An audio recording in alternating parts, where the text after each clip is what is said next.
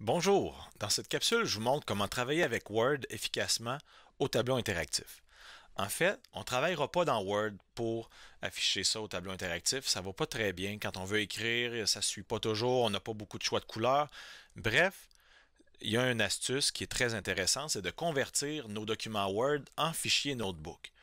Alors pour faire ça, on ouvre notre document Word et on va aller l'imprimer. Imprimer, c'est une façon de parler.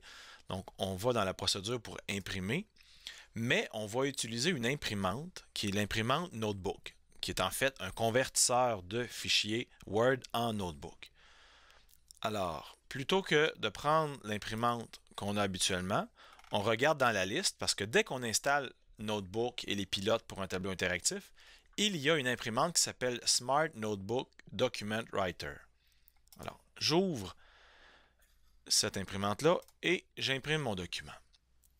Alors, une fois que l'option apparaît, on a le choix. Est-ce qu'on veut que ce soit des images ou euh, que les objets soient modifiables? Si vous n'avez pas besoin de modifier les objets, je vous suggère d'aller avec les images. C'est plus simple à gérer. Donc, euh, je fais OK et la conversion du document va se faire. Donc, notre apparence Word va devenir un fichier Notebook. On va pouvoir utiliser les crayons dans Notebook, on va pouvoir utiliser les rapporteurs d'angle, les outils au complet de Notebook. Donc, euh, c'est beaucoup plus facile de travailler avec ça que directement dans Word. Donc, vous voyez que j'ai utilisé mon bouton euh, mettre ça en pleine largeur pour avoir accès à mon document.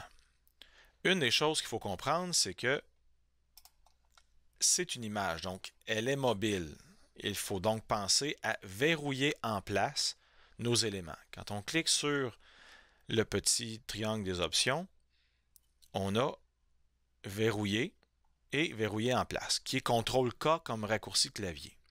Donc, je verrouille mes objets pour ne plus qu'ils bougent, parce que sinon, en y touchant, ça se déplace. Si on a plusieurs pages, un truc qu'on peut faire, c'est d'utiliser le bouton Contrôle qu'on maintient toujours. Donc, on va faire A pour sélectionner tout.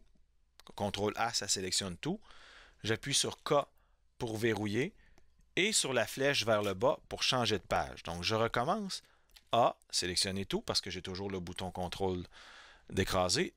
K pour verrouiller et flèche en bas pour changer de page. Donc A, K, flèche en bas en maintenant le bouton contrôle et tous nos éléments sont verrouillés. Donc je clique, j'essaie de modifier ça et ça ne bouge pas.